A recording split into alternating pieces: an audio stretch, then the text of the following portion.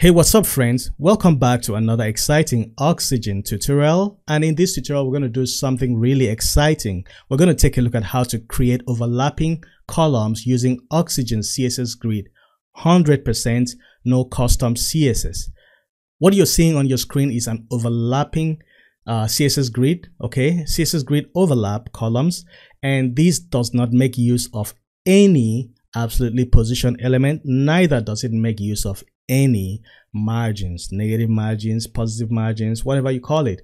This is pure CSS grid overlap and it's all done in Oxygen Builder. CSS grid is one of the most complicated CSS properties because there's just so many moving parts. It takes so many ways to do specific things. For instance, you, there are so many ways to achieve the same thing in CSS grid and, and thanks to that complexity, we are going to be able to do what we are doing today. So let's jump into Oxygen. Now I want to add a section and in that section I want to have a div with two divs inside it. So I'm going to use the shortcut Emmet uh, uh, the new Oxygen's feature.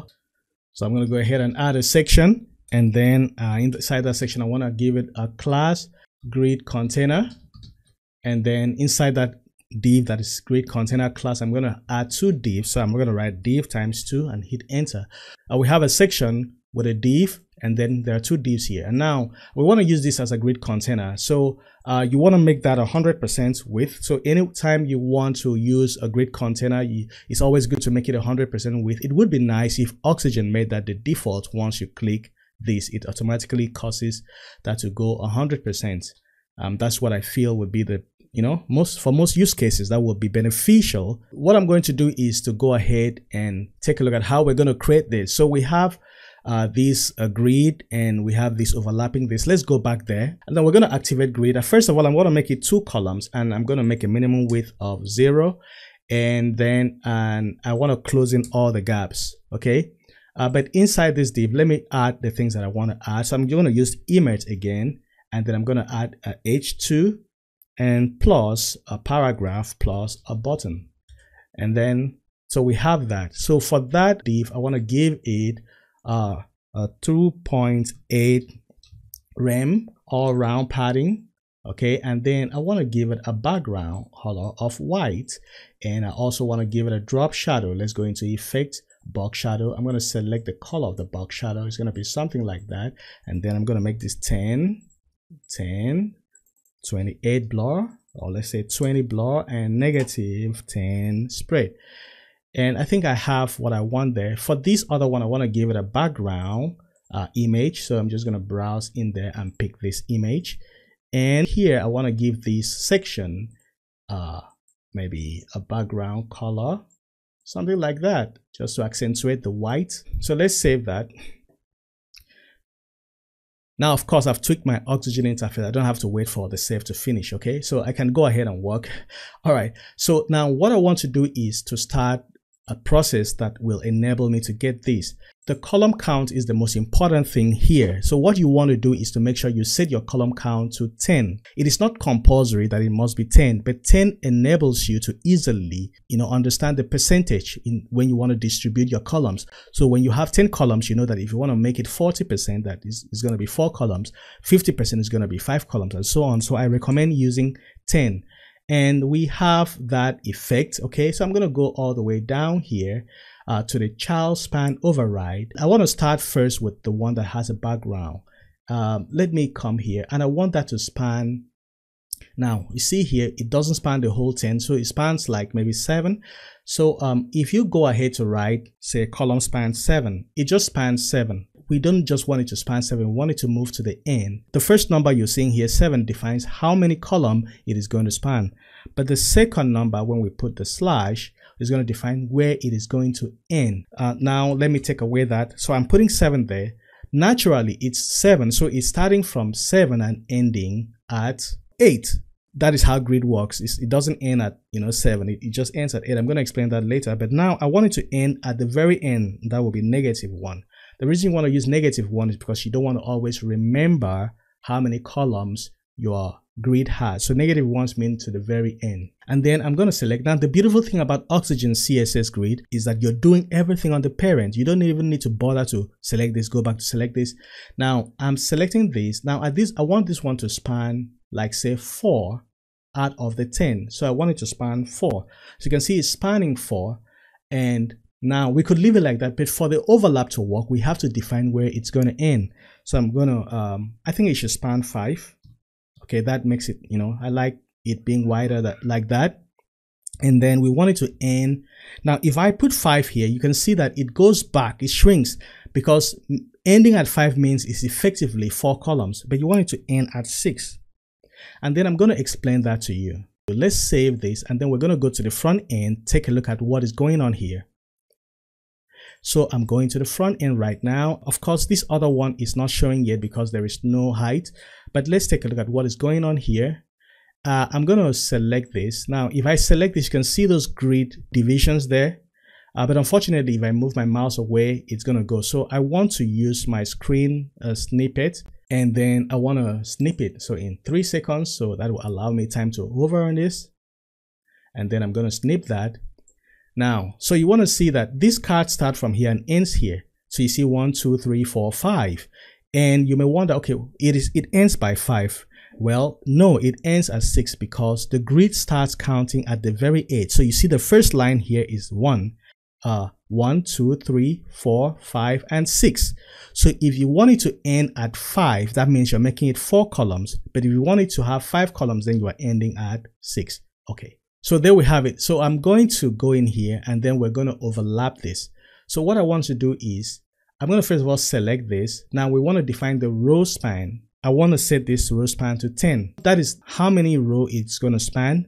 Now 10 again, for the same reason, is easier for percentage to know the values you're going to give. And then I want it to start 10 and end 10. In this case, 10 over 10.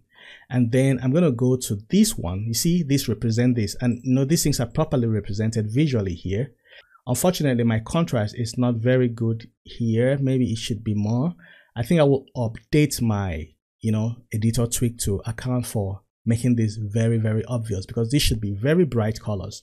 Anyway, so I'm going to select this, which represent this, and I want it to, you know, span like, so if we go to our example, out of 10, I want it to span like, say, maybe 4.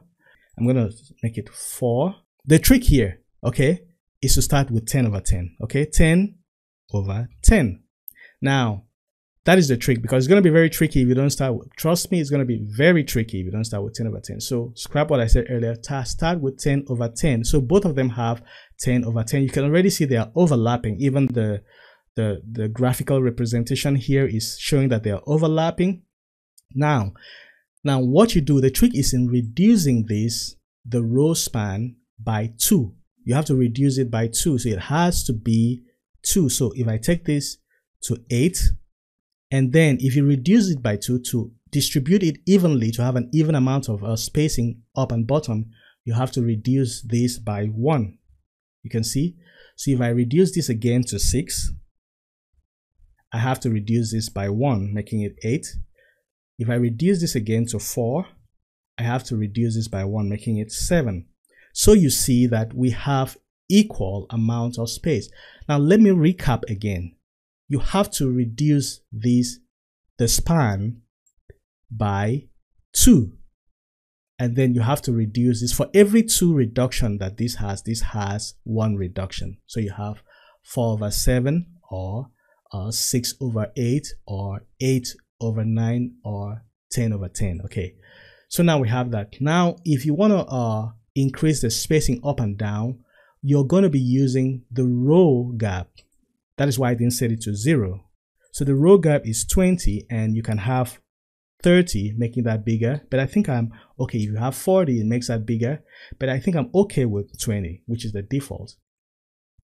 I'm going to go ahead and change this to uh css uh, grid overlap and then i'm going to copy some lorem ipsum text and put here just to make this look okay and then my button i want to just say learn more and change the button color to black. I just love how fast it is to access settings in Oxygen. It's the workflow. It's really, you know, when I use other builders, you know, I, I you have to go into dig into settings to get stuff like this, but everything is just there for you in Oxygen. Now, this is behind this. That's because of stacking context. Uh, the HTML element that comes last always have a stacking, a higher stacking order. So um, to do, to, to sort that out, I'm just going to select this and then I'm going to go to the Z index and set that to one and that solves that. So I'm going to save this. Let's take a look at the front end and see what we have. And let's refresh that. And that gives me that just like we have here. Okay. In this case, we have this coming in slightly, you know, inside. That's because uh, we may have had that for, that could have been uh, eight, span eight columns. Okay, so that is eight columns. So if we take a look at the front end again, uh, we see that that, you know, just, just like this, that goes in and, and that's all. So there we have it. You can overlap in this manner. So how about responsive? Let's go back to the lower breakpoint. So here from here, I don't want it to, to be like that. So I'm going to go back and enable grid again, and then I'm going to set this to one. And I'm going to go uh, back here and then the column span I'm going to set to one. The row span I'm going to set to one for that. For this, I'm going to also do the same thing, one, one. So, and then I'm going to set the gap to zero. These um, doesn't have a height. Okay, let's go back to the higher breakpoints. Something is not right there. So this was 8 over negative 1. Okay, and there. Okay, so for some reason that changed. I'm not quite sure why, but of course it's, it's fixed now. Okay, so now if we go back here, you could always uh, set match height of tallest child but that won't give you a very good result. So you can set that here, or, you know, at that breakpoint. But I don't want that, you know, it's not an ideal way to set the height of a background image. Um, anyway, uh, this my background is not looking good, so I should have set it to no repeat cover, you know, 50% and 50%. All right, that looks better. So now uh, let's go back to the grid parent. So when we go back here, this one we need this one to have a minimum height. So now when you have a, div with a background image, that background image doesn't give your div a height. So you always want to give it a minimum height. So I'm giving it a minimum height of uh, 100, 250. Uh, typically you want the image to come first. Okay. So uh, if I want the image to come first, I will just go into the order. Okay. Layout order. And we don't have an order property here because uh, we this is not a flex box okay? But we should have an order. So i'm just going to type this order uh, negative one. Now that brings it now if i say one two it's not going to work because this has an order of zero okay? So negative one brings it to the top. So now from that lower breakpoint we have that working in that respect okay? So i'm going to collapse this. So we have everything being fully responsive. All right and then that's all for your overlapping column. What, what if you wanted it to alternate? What if you want to have maybe when you duplicate this section, it alternates. Okay, this moves here. Now you can do that. Now, before I do that, I'm going to just delete this. Now I want to give this section a class. So I'm just going to give it um alt section. Okay. Just going to go to grid alternating section. Okay. I want to use that class to target the grid item, okay, the grid parent, and I need to give this to a class. So this is going to be the grid child overlap, and then this is going to be my grid child background, okay. So I'm going to call that grid child BG. All right, so this serves as my background, this serves as the overlay. So I'm giving those class because I want to target it with CSS. So I'm going to go into style sheet and then I think I have a style sheet here. So um, now I want to, let me remember, what was that class again? It is uh, grid alt section. Okay, I'm to copy that and then I'm to go to that, my CSS grid style sheet. And then I'm just to put a dot here and paste that. And I want to target the nth child. Okay, even. All right. And then for that even, I want to target the grid. Uh, what did we call the parent? Was the grid container. Okay, CSS grid dash container. Now, the reason you're doing this with the style sheet is because we are using the, the section. So we're targeting from the section. That is why we can't use the interface. If we were going to target the grid container directly, Now we would use the interface, but because of, I mean, it's much easier to manage the style sheet anyway. So I'm going to target that. Then I want to target the grid child. The first thing I want to target is the grid child overlap. Now, what do we write here? We want to essentially, now, before we do that, I'm going to duplicate this, okay, 100D. So we have two on the page. I'm just going to zoom out just a little bit. Okay. Now, we have two on the page. Uh, then we're going to go to the front end and then we're going to check the property. So we're going to copy that property. For this one, we have a prop. Okay, so I think I may be covering something here. Let me just move that out of the way. All right, so we have uh, this property for this one, okay? For this one, I'm going to just right click and copy all declaration. And then I'm coming to that style sheet. And I'm going to paste that. Now, what we want to do here is that the grid column was spanning 5 and it ended by 6. But this time around, we want it to end at the very end. So we want to end at negative 1. And then the row, I think the row is okay. We don't have to do anything. I'm going to get rid of this height because we don't need it. I'm going to copy this. Paste here again. Of course, I don't need this. I want to target the grid child BG.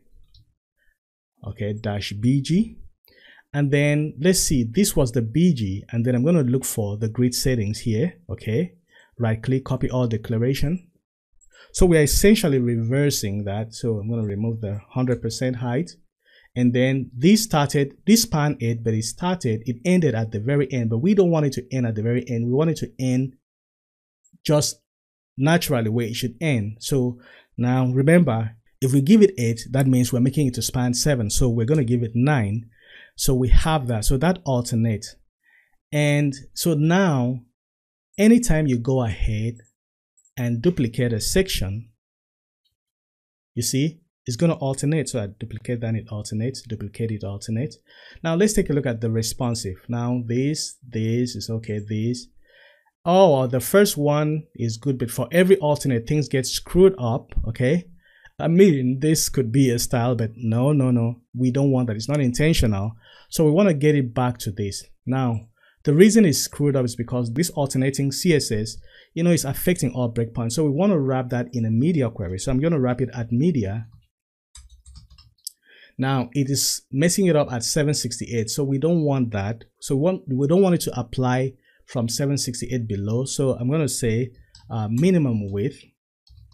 So the minimum width we want this to apply is, let's say, uh, 769 pixels.